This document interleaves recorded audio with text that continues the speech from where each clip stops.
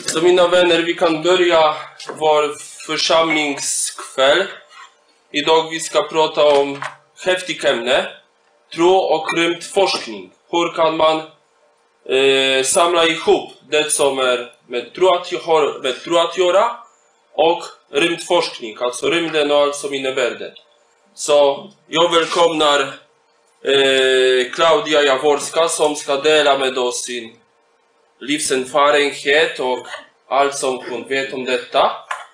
Eh, under tiden man kan självklart dricka och äta lite grann och jag tror att sen vi ska ha lite tid att ställa frågor. Ja. Varsågod. Yes.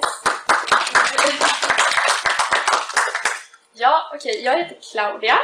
Eh, För er som inte vet, jag är 18 år gammal så jag kanske inte har så mycket livserfarenhet. Men eh, något har jag i alla fall. Jag är katolik, jag är medlem här i katolska kyrkan i Borås och jag är också väldigt intresserad av rymden. Ni kanske ser. Ehm, och jag brukar få frågan hur länge jag har varit intresserad av rymden. När kom mitt intresse fram? Ehm, och då brukar jag peka på den här. Det här är nog det första beviset på, min, på mitt engagemang inom rymden. Och här är jag sex år gammal, från dagis. Eh, och notera att det här var ett år efter att jag hade kommit till Sverige, så min svenska var kanske inte jättebra och det kan förklara vissa lite så här halvbra svar, som typ när är din födelsedag? Många blommor. Det var det enda jag kunde svara. Så jag visste inte hur man sa april på svenska. Men eh, annars är frågorna väl ganska så vanliga. Vilken är favoritfärgen, rosa. Det är väl inte så ovanligt. Det är mest den sista frågan som är lite rolig. Vad vill du bli när du blir stor? Jag vill bli en kosmonaut. Jag vill åka till rymden. Sex år gammal. Jag vet inte, vet mina föräldrar varför jag är rymdintresserad? Ja, du säger ju det, den boken som du fick ifrån eh, mormor och morfar. Ja, då var jag tio. Det var du tio? Ja, nej, det vet jag inte. så jag vet inte. Ehm, och eh, jag har då gjort en massa grejer. Jag har åkt runt på olika forskarläger överallt. Allt från Kiruna till Alperna i Italien. Eh, jag har även varit i Stockholm och forskat på KTH eh, nu i sommar. Men eh, det tänker jag berätta om lite senare. Så. Eh, så dagens upplägg tänkte jag att jag skulle först presentera rymdforskning och hur man kan forska själv som amatör, både som ung och gammal, och sen berätta lite grann om min forskning och det jag håller på med. Ehm, och sedan tänkte jag prata lite om utmaningar, vad forskningen står för stora gåtor och saker man inte riktigt är säker på, Eh, så man har lite förförståelse för det. Och sedan ska vi gå in på ifall Gud finns i rymden och hur man kan koppla det här med rymdforskning och tro. Eh, och då vad forskarvärlden hur forskarvärlden ser på kyrkan och på religion, men också hur kyrkan ser forskning. Och ni kan ställa frågor när ni vill, om det skulle vara så. Eh, och sen i slutet kan ni också ställa frågor om ni vill mm. det. Ja, okej. Om vi först definierar vad en vetenskaplig teori är, det är bra att ha koll på det när man pratar om sånt här.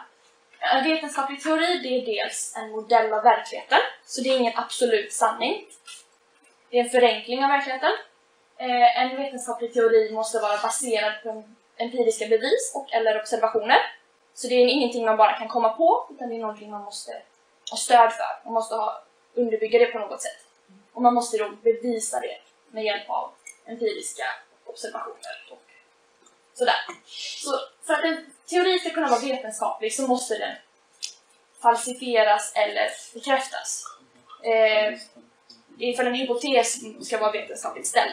Så man måste kunna antingen säga att den här hypotesen den stämmer, eller så stämmer den inte. Man kan inte säga en hypotes som inte går att bevisa och inte går att motbevisa. Då är den inte vetenskaplig. Men ja. Okej, hur kan man rymdforska som amatör då, om man inte har någon utbildning som just rymdforskare? Om man inte har gått någon speciell utbildning på det sättet. Dels så kan man hänga på Astronomisk ungdom, men då måste man tyvärr vara 25 år eller yngre. Det, det, det är där jag hänger mest och det är en super, superbra organisation. Ehm, Det är dels en stor förening som har nästan 3000 medlemmar över hela Sverige. Det är faktiskt Sveriges största naturvetenskapliga organisation för unga. Den är jätte, jättebra. Eh, Och i Borås har vi en förening som är kopplad till Astronomisk ungdom. Spatia heter den. Vi håller hus på Bäckingsgymnasiet. Jag är ordförande. Det är kul. För eh, de som är lite äldre eh, så finns BAS och eh, Borås Astronomiska Sällskap samt Göteborgs Astronomiska Klubb. Och de fokuserar mer på observationell astronomi. De har stora fina teleskop och arrangerar observationskvällar. Man kan också be dem låna teleskop och sådär. Så de är väldigt eh, trevliga. Jag har inte haft kontakt med BAS eller BAS så mycket. Utan Göteborgs Astronomiska Klubb mest. Ehm, så. Sen kan man också gå in på NASA. De har faktiskt någonting de kallar för Citizen Scientist. Och då kan man som eh, amatör bara gå in och kolla på lite forskningsdata som olika teleskop har fångat upp och vanliga forskare, de som är anställda, inte riktigt har tid eller orkat gå igenom. För det är massa, massa, massa information som någon måste analysera och då låter man vanligt folk göra det och så kollar forskare på det sen. Lite så. Lite kul, jag har inte varit inne på det jättemycket. Jag har kollat på lite exoplaneter, så planeter utanför vårt egna solsystem på NASAs hemsida. Men man kan alltid googla och ta reda på mer om det om man vill. Sen finns EDX och det är för de som kanske vill utbilda sig lite längre och gå någon högskolekurs eller universitetskurs inom ämnet. Eh, och eh, jag har själv gått en kurs vid Polytechnique Fédérale Louisiane i Frankrike via EDX. Man gör det alltså på nätet då, på sin dator. Eh, och jag har gått kursen i en introduktion till astrofysik.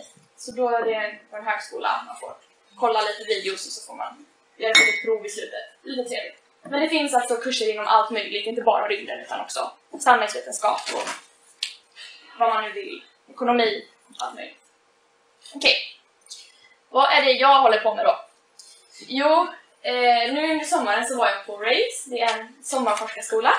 Så jag har varit i Stockholm eh, under fyra veckor och eh, varit på KTH och forskat om supernovor. Supernovor, det är stjärnor som exploderar, de dör. Och det ser väl ut något sånt här, det är ingen riktig bild. Men man tror att det ser ut på något vis, lite sådär.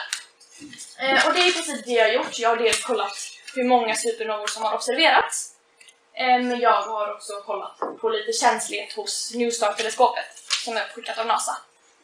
Och här är en bild som jag faktiskt fick av Geocorp, Göteborgs Astronomiska Klubb, eh, på galaxen NGC 6946 som är då den mest supernovarika galaxen inom 10 megaparsec av de närbelägna galaxerna. Så jag ska kolla ifall det finns en supernova här i alla fall. Jag har inte hittat någon än, men jag är inte riktigt klar heller. Okej, vilka utmaningar har vetenskapen, har rymdforskningen framför sig just nu? Ja, vi brukar väl vilja tro att vi vet så mycket, att vi vet allt. ja, men jag står här nu och jag forskar på supernova och jag är så duktig. Men i själva verket så vet vi inte så mycket alls. Ehm, det första jag vill prata om det är det här. Här har vi lite kvarkar och leptoner och sådär. Ni behöver inte bry er om det här. Ehm, utan det jag vill peka på är just de här ljusblåa bosonerna. Vi har fyra fundamentala krafter som eh, beskriver vår tillvaro. Ehm, och eh, alla de här fyra krafterna, eller tre av de här fyra krafterna har en partikel som förmedlar kraften. Så om vi tar eh, ljus som är elektromagnetisk kraft, elektromagnetisk strålning. Eh, den har fotoner som förmedlar kraften. Eh, om vi tar till exempel starka kärnkraften som gör att alla atomer i vår kropp sitter fast och inte faller isär, eh, så är det gluoner som har hand om det. Och sen den svaga kärnkraften, där har eh, Z-bosonen och W-bosonen eh, hand om. Men om vi tar gravitation då, som är en så stor och viktig kraft eh, så har vi faktiskt inte lyckats hitta någon partikel som förmedlar den här kraften. Vi tror att det ska finnas en graviton, men vi har inte kunnat hitta den. Vilket är lite, jaha, varför finns inte den? Varför är den så svår att hitta? Gravitationen finns ju överallt. Folk har suttit eh, forskat på CERN och på andra partikelacceleratorer eh, och eh, ja, frågat sig själv varför inte det går att hitta. Är det Higgsbosonen då också? Higgsbosonen har man ju hittat. Ja, det Higgsbosonen har man hittat. Det är ju den som förmedlar, det är ett nätverk och sådär. Men eh, gravitonen har man inte klarat av att hitta. Det här kanske är en gammal bild, den kanske inte borde vara mörkblå.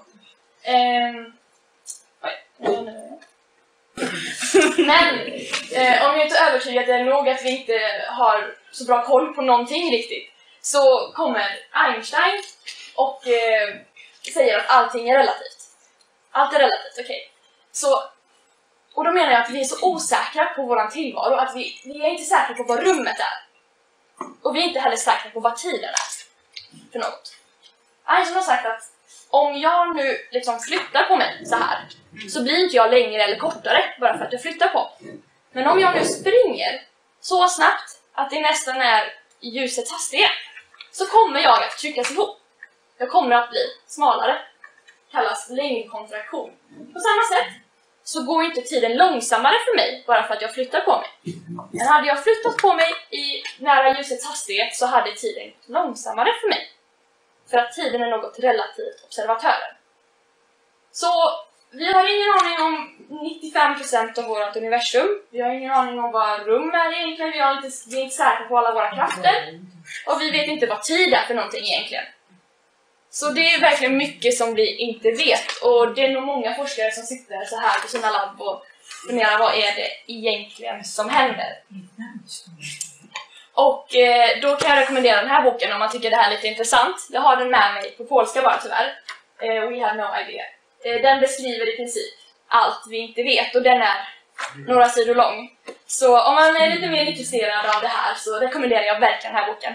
Skriven av två forskare som tar allt det här med gnutta humor Eh, och inte alltför komplicerat. Okej, då kommer vi till den sista punkten som jag tänkte fokusera på lite mer. Finns Gud i rymden? Finns det plats för en Gud i rymden? Det är kanske lätt att föreställa sig en Gud när man bara tänker jorden, när man bara tänker sitt egna liv.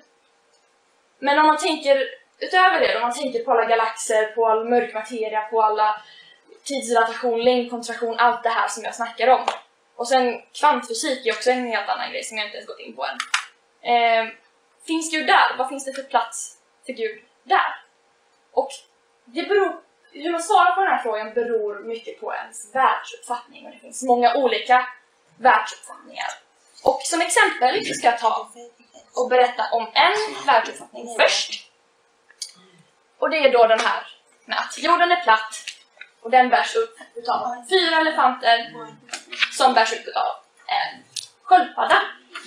Okej? Okay? Då frågar man de här människorna som har den här världsuppfattningen, ah, okej okay, men vad står sköldpaddan på? Jo men så kollar de så här, ja men såklart är du dum eller? En till sköldpadda. Okej, okay, och vad står den här sköldpaddan på? En till sköldpadda. Och så håller det på så i en oändlighet. Och för oss så kanske den här världsbilden verkar lite sådär. Vi kanske tycker att den kanske är lite dum, lite konstig. Men jag vill att vi ska ha i åtanke att olika världsbilder är bara olika. Vi kan inte bedöma vad som är sant och vad som inte är sant. Att det här inte är den mest sannolika teorin behöver inte betyda att vi ska dumförklara de som tror på det. För att det finns faktiskt folk som skulle kunna ta min världsbild och dumförklara den. Så jag vill bara vara öppen och säga att vi tar olika världsförklaringar och olika världssyner i hän till hänsyn när vi pratar idag. Okej, okay. så om vi börjar med kreationismen. Kreation, jag, jag, vill inte gå in på evolutionsteorin allt för mycket, för det är inte det här det ska handla om. Eh, men Big Bang, såklart, måste gå in på det. Man måste gå in på hur världen startade. Eh, och vi har kreationismen, som är störst i USA. Eh, och de här kreationisterna hävdar att, eller tror bara, de är bokstavstroende och de tror att eh, jorden skapades på sex dagar av Gud. Och den sjunde dagen vilade han. Och så var det. Eh, de tar liksom inte hänsyn till några andra teorier. De, de säger att så här var det. Och eh, vetenskapen är liksom inte en, ett alternativ i den här teorin av skapandet. Utan det är det som står i Bibeln och det är det det är det som man tror på, helt enkelt. Och som sagt, det är inte så jättestort här i Europa, men såklart finns det människor som tror på det här, här också. Eh, det är ju en världsbild man kan ha. Eh, och kreationismen det har fått mycket kritik för att vara väldigt stängd och för att eh, användas som politisk strategi. Eh, speciellt i USA då. Men vi kommer in på det senare. Eh, sen har vi en väldigt eh, trevlig och väldigt känd man, Stephen Hawking. Eh, han representerar den andra sidan av spektrumet lite grann. Eh, han är ju en vetenskapsman, en fysiker, en astronom eh, som fokuserade då på svarta hål. Han dog tyvärr för något år sedan. Men han var väldigt, väldigt framgångsrik och vi har lärt oss mycket om vårt universum eh, med hjälp av hans forskning och hans verk. Och jag har tagit information från hans bok som heter A Brief History of Time, som jag också har med mig på polska tyvärr bara. Eh, och Steven han ställer sig frågan ifall Gud finns. Existerar en Gud i, i hans värld? Hans värld är rent vetenskaplig. Han är en vetenskapsman. Han är en materialist skulle man kunna säga. Och även fast han tror så starkt på vetenskapen så ställer han sig också frågorna som Hur började universum? Och är det på väg någonstans? Vart ska vi? Kommer det sluta någon gång? Eh, och han kan inte riktigt svara på de här frågorna. Eh, men han resonerar och han kommer alltid till slut fram till att nej, en gud kanske kan existera men det är väldigt, väldigt osannolikt. Eh, och hur ser hans världsbild ut då? Jo, Steven han, han föreställer sig två olika universum. Ett universum som står still och ett som är dynamiskt, som utvecklas, som rör på sig ständigt. I ett universum som står still skulle en skapare vara väldigt sannolik. Det skulle vara väldigt lätt för en skapare att bara komma in i ett universum och ändra saker. Eller att skapa ett universum från början. Men det är inte riktigt så det ser ut idag. Vi har ju kunnat observera att universum hela tiden expanderar. Det är galaxer som hela tiden flyttar sig lite längre ifrån varandra. Och eh, universum har, och vi har också kunnat ta den här processen tillbaka och sett att universum har ju börjat någonstans på något sätt. Eller all materia har i alla fall varit närmare varandra än vad de är nu. Det är egentligen det vi kan svara på idag. Och eh, Hawking säger då att en skapare skulle vara mycket, mycket mer begränsad i ett sånt här universum. Då han inte kan välja när han ska skapa världen. När ska den här smällen ske? Eh, för att då finns det en bestämd tidpunkt för det. Ungefär 14 miljarder år sedan. Miljarder år sedan. Eh, så att slutligen kommer ju Stephen Hawking fram att, till att det inte är väldigt osannolikt att det finns en gud. Eh, och han är inte den enda som kommer fram till den slutsatsen. Eh, det är väldigt många forskare och bara vanliga människor som kallar sig själva för scientister. Eh, eller nyateister. Jag säger inte att Stephen Hawking är en nyateist, för det vet jag inte. Men eh, det finns en grupp som kallar sig för det. Och man kan verkligen se det som en motsats till kreationisterna. Eh, och de hävdar bara att vetenskapen är den enda sanna berättelsen. Det finns inget annat. Det finns, man kan inte ta hänsyn till något annat. Eh, och allt som, hävdar, som visar sig vara något annat än vetenskap, något som man inte kan bevisa, är fel. Och de har också fått mycket kritik. Men eh, vi kommer till det sen. Um, ska bara, ah, oj. Okej. Okay. Vi kan ta den här bilden först kanske. Um, så vi har um, vetenskap, den här med Stephen Hawking. Och så har vi religionen med kreationisterna. Och de bråkar med varandra. Det, är liksom, det finns ingen eh, koppling. Och det finns, man kan placera sig här. Det finns folk som placerar sig på den här skalan. Att eh, de tror antingen på vetenskapen eller på religionen, bara, enbart. Och inte tar hänsyn till det andra. Och menar att religionen och vetenskapen konkurrerar med varandra på något sätt. Ehm, och då menar man att vetenskapen och religionen försöker svara på samma frågor. Alltså hur började världen, hur skapades universum, varför lever vi? Och så vidare. Och då menar de att det går inte att para ihop. Det finns dock folk som menar annorlunda, som säger något annat. Amit Gosavami, kanske inte lika känd som Stephen Hawking, ehm, är en kvantfysiker som har skrivit den här boken, God is not dead. Eh, och det här är en... Han hävdar sig ha hittat bevis, och han använder ordet bevis, vilket är ett väldigt starkt ord, tycker jag, i sin kvantforskning. Och han talar då om... Kvantforskning handlar i princip om de minsta beståndsdelarna och alla konstiga saker de gör. För de är väldigt, väldigt konstiga. Eh, och han menar att vårt medvetande påverkar kvantprocesser på det sättet att saker och ting kan ändra sig. Observatörsprincipen, eller det finns en princip där man har observerat elektroner, de rör sig annorlunda om det är någon som tittar på dem. Så elektroner rör sig annorlunda, beter sig annorlunda ifall det är någon som, är med, som ser på dem. Och många tänker väl att det kanske är för att vi har apparatur som inte är känslig för det och sånt där. Men eh, han menar då att han har med sina experiment kunnat bevisa att det är vårt medvetande som gör att elektroner beter sig på annorlunda sätt. Och han menar då att eh, och han pratar om kvantidentitet, om, någon, om, om att vi har en kvantidentitet och att Gud är en kvantidentitet.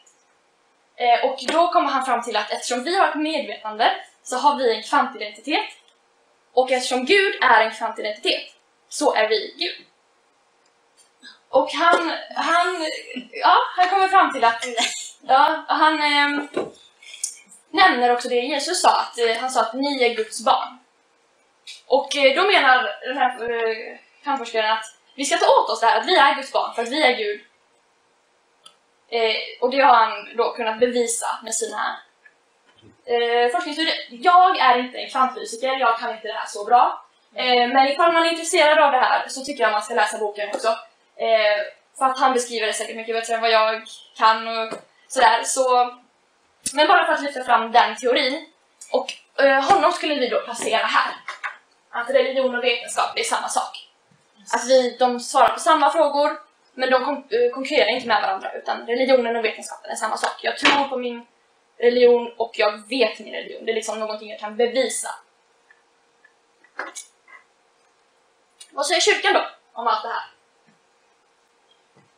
Eh, här har vi en bild på eh, kardinal, så jag inte säger fel nu.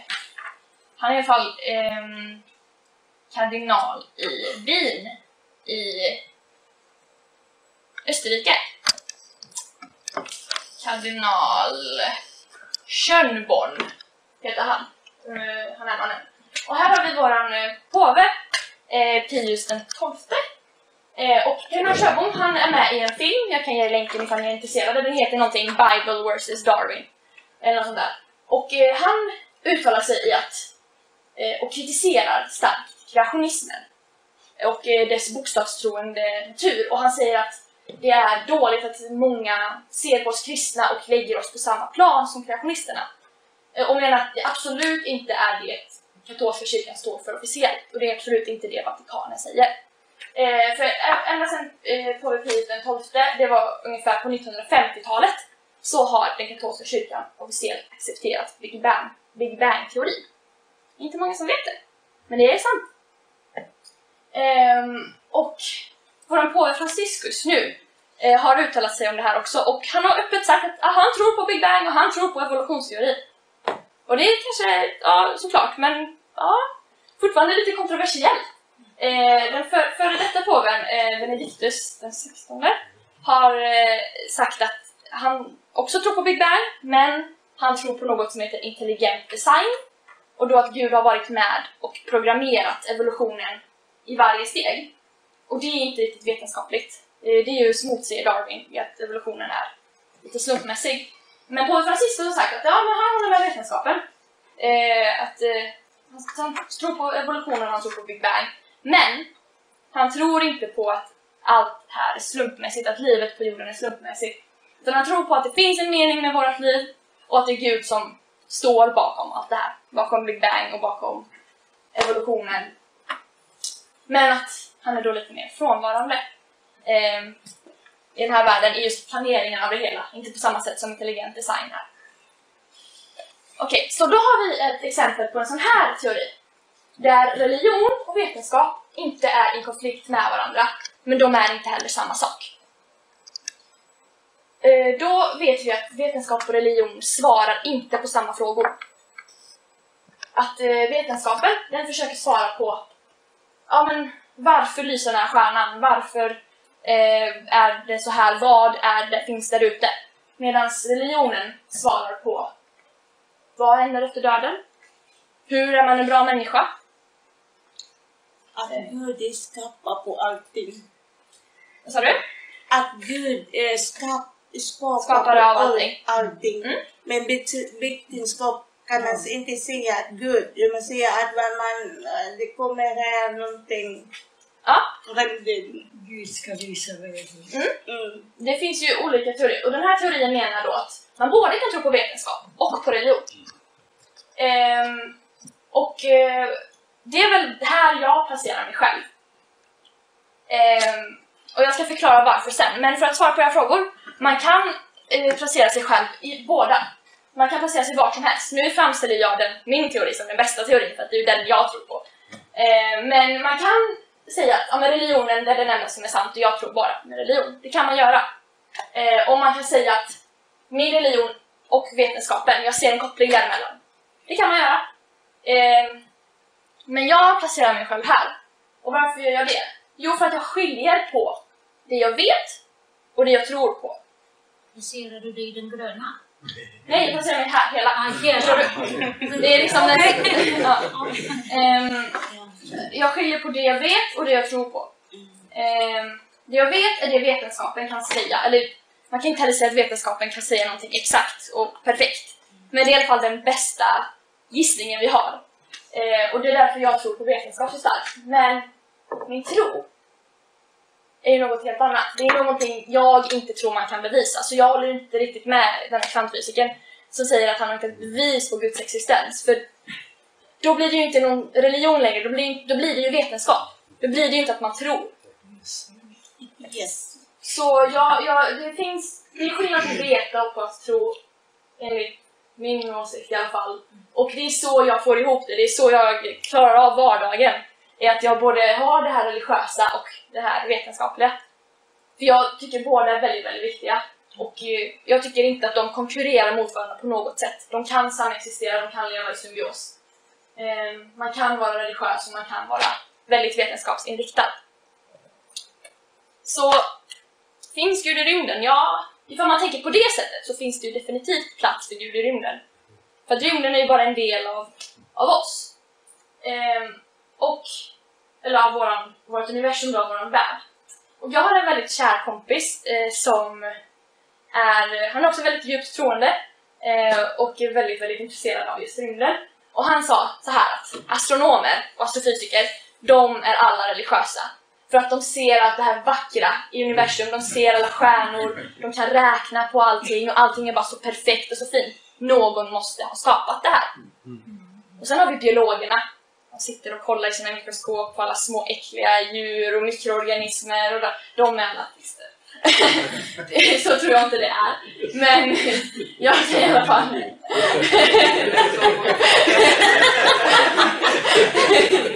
jag kan i alla fall säga att för mig så stämmer det att jag, jag tror det för att jag, jag kan ju också se det här med att jag, jag kan räkna ut saker och det, jag känner bara inte att det kan vara en slump. Jag tycker inte det. Jag, jag kan inte föreställa mig mitt liv som slump. Eh, det har jag väldigt, väldigt svårt för. Och eh, ah, det finns också ett annat sätt att se på det hela och det är att allt det komplexa, allt det vi inte kan vet någonting om, det är Gud. Så förr i tiden så tänkte man planeterna och stjärnorna, det är ju så långt borta, det måste vara Gud på himlavalvet. Så tänkte man. Och sen så kollade man, ja, inte riktigt, kanske inte det man tänker på nu. Men nu, om vi tänker på tillbaka till det här med mörk energi och mörk materia. Jo, men vi har en energi som håller allting samman, som bygger upp 70% av vårt universum. Det måste vara Gud. Ja, kanske, men då tänker jag, det är någon som har sagt något väldigt klokt. Det är inte jag som kommer på det här. Och jag har försökt hitta vem det är som har sagt det, men jag, jag kan inte hitta någon. Eh, men det är någon som har sagt att vi människor, vi är så benägna till att tro på att det komplexa, det okända, det är Gud. Men vi, vi ställer oss aldrig och säger att ja, men stenen jag står på, det är Gud. Det gör vi aldrig. Varför? Det vill jag göra. Jag vill ställa mig och säga att ja, men stenen jag står på, alla människor jag träffar, all mat jag äter, det är Gud. För mig. Eh, och visst, man kan tro på att mörka energin är Gud. Jag säger inte att det är fel. Jag... Och nu tycker jag faktiskt att ni också ska dela med er av det ni tycker.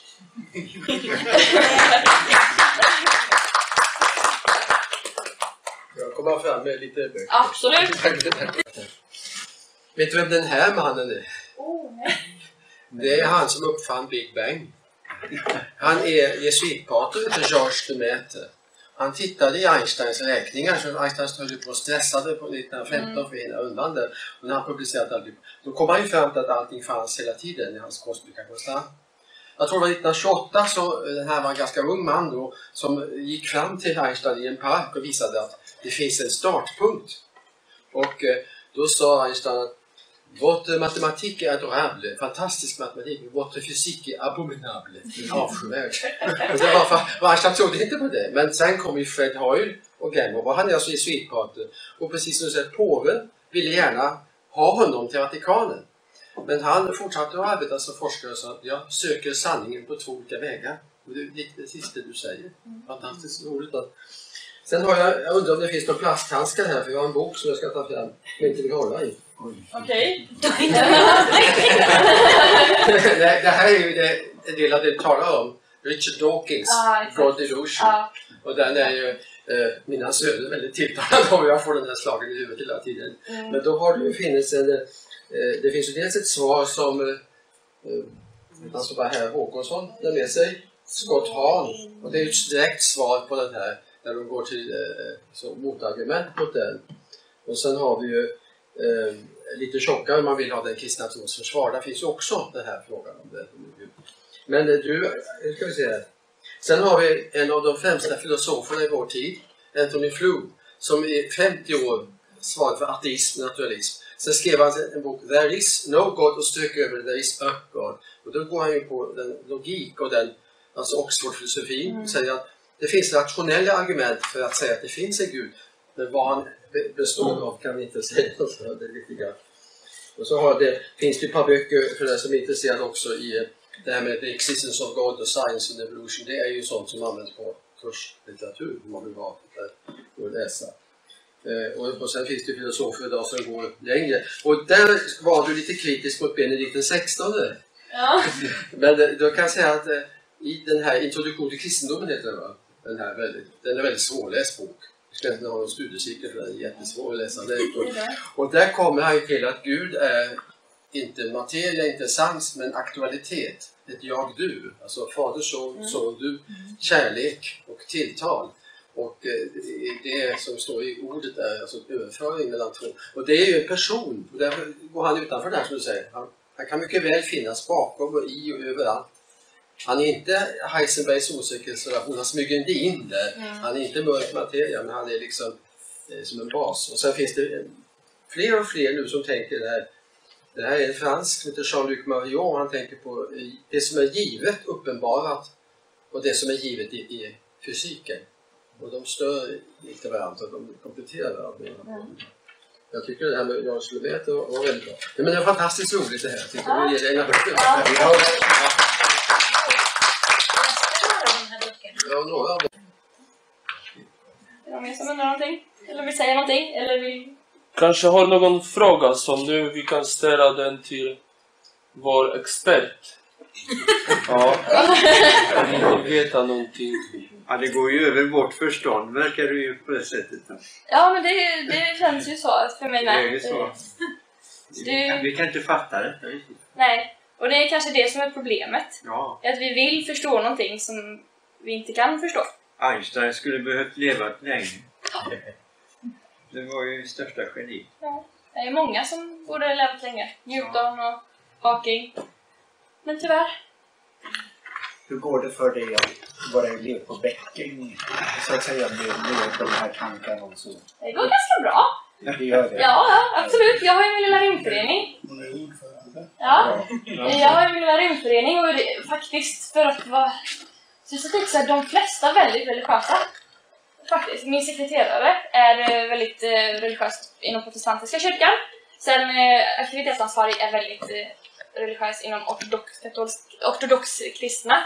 Eh, gre, grekisk-ortodoxa kyrkan. Eh, så att, eh, det går ganska bra. Jag trivs min klass. Eh, vi har ju religionskunskap så jag har med mig min religionsbok. Det är där jag har tagit alla de här teorierna med de här bubblorna ifrån. Eh, så vi, det, det går bra. Jag känner mig accepterad. Men det är också att jag vågar stå på mig och vågar säga jag tycker Har ni byggt om hemma så att du har ett litet teleskop i tak? Inte i taket, för jag har ett litet rum. Det är nästa steg. Och så är det lite rolig- roligare här. Mitt i vintern, alltså inte nu men förra året var det så här att hon och nu pappa, nu ska jag observera mitt i natt. Och så tog på sig vantarna och allt och sen gick hon ut så. Vad var det? Du kunde inte se någonting på Nej, det var, man ställer ju upp allt teleskop och det är lite det här med observationell astronomi som är lite... Man ställer upp sitt teleskop och man tänker man planerar allt i en stjärnklar himmel superbra. Man, teleskopet behöver lite tid för att ställa in sig och allt sånt där. Och så kommer man och så är det molnigt. och så är det ju kört för då har vi stannat uppe till elva. Vad ska vi göra nu? ja. Så det, de här, jag kan lämna den här bilden uppe. Eh, den är ganska viktig. Dels med astronomisk ungdom men också med alla de här eh, grejerna. BAS och GAK. De kommer säkert bli jätteglada om ni eh, reach out to them liksom. Jag hoppas bara att du inte påverkar både eh, många IPS-författare. Ja, nej såklart. Men man måste, jag tycker att man måste ta in alla åsikter och sen så gör man en egen, egen sanning. Det finns ju ingen absolut sanning, det tror inte jag finns. Utan jag, jag kollar de här olika åsikterna, jag läser de som verkligen tror, eh, kreationisterna åsikter också, och de här ateistiska författarna. Och så bildar jag mig själv en egen uppfattning att det här är det jag tror på. Och jag, jag förstår att du säger så här, jag förstår att du säger att det inte finns någon gud, men det här är varför jag tycker du har fel. Och sen sitter hon mamma och pappa hemma med rosenkrans. Ja? Inte den boken, inte den boken.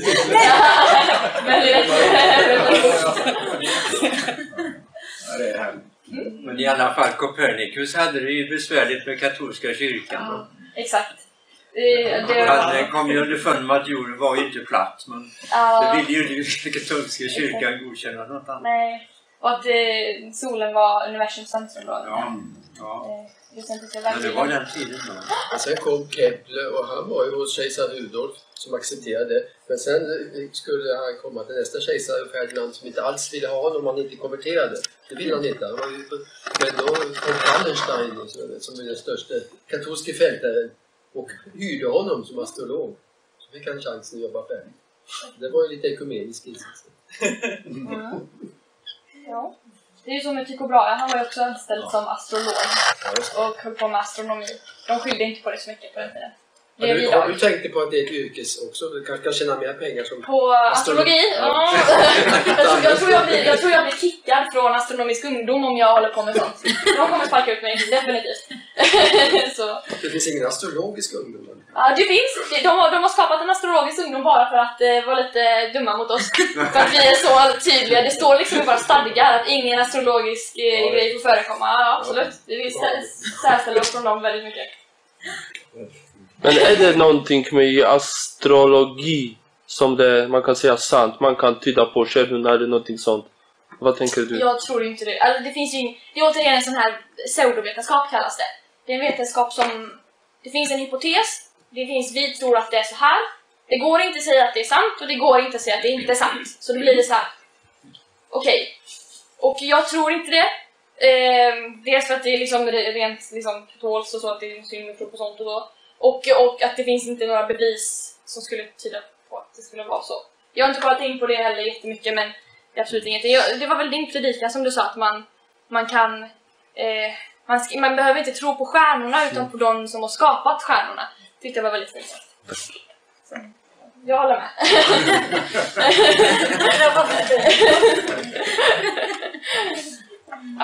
Påven har väl varnat lite för så länge sedan just med astrologi. Men säkert. Det, ju, ja. det kan vara väldigt farligt vad jag vet. Jag, vet, jag är ingen expert, expert inom ämnet men vad jag, vad jag har hört och läst så kan det ju vara som att öppna upp sig för någon annan sorts andlighet, någon annan sorts spiritualitet och då vet man ju aldrig vad det är. Men det kan inte jag uttala mig om för jag kan inte så mycket om det. Kan vi be dig om någonting? Ja, Att du tittar på folk som sitter här och är din fanclub och sen när du kommer och hämtar med Nobelprisen. Att alltså, det är alla med!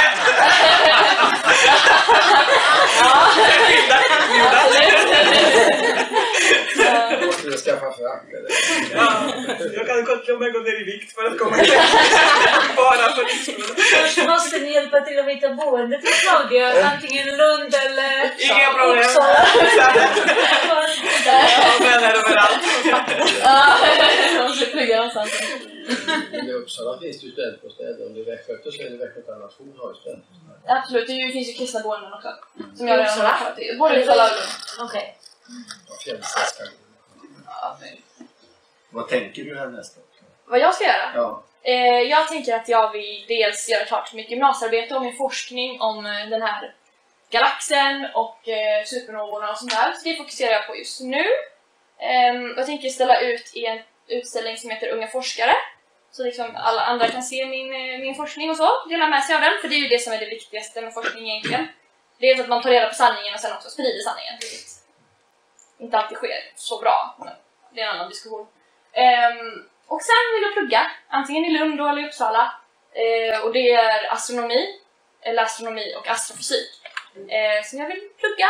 Och sen tar jag en master och sen så får vi se vad som händer efter det. Mm.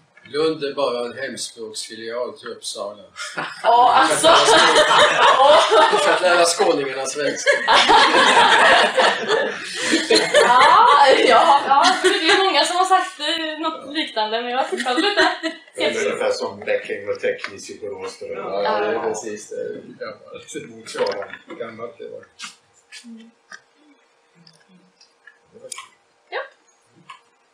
Har vi någonting mer? Vill ni fråga om någonting? Ställa någon fråga? Vi kanske förstår för lite för att kunna fråga. Men du, den här betelgeösen som håller på att paja nu, det kan man nästan se. Kommer det att smälla här någon dag?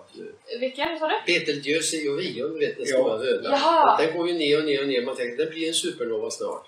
Du, det vet jag inte, jag har inte kollat. Nej, Gå ut varje kväll och kolla. Ja, absolut. Nej, men, nej. Men han har blivit tydligt svagare, alltså även om man kommer ihåg i, i en li- en livstid så att har det gått ner väldigt. Det är ju intressant. Ja. Väldigt intressant. Den ligger väldigt nära 600 ljus och bort. Men så sa det kan komma imorgon, det kan också komma om 100 000 Ja, år. Så det är ingen Absolut. Men vet du vilken galax den... Ori, nej, ja, det är ju våran galax. Det är Vintergatan, Orion. Men, äh, Det är en stjärnbild i Jo, våran jo, jo, jo. Men, Så den är bara 600 ljus. Den ska vara. mm, Det syns ju nu på vintern. mm, jo, det gör den. Länge. En supernova i vår egen galax.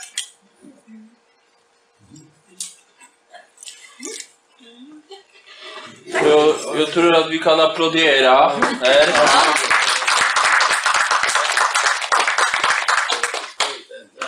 Och önskar dig lycka till. Ja, just det. Och låt oss be tillsammans till slut. Bön Fader vår. Om Guds välsignelse för Claudia, eh, hennes föräldrar och Emil, hennes lillebror. Att särskilt hon kan växa i tro, men också i vetenskap.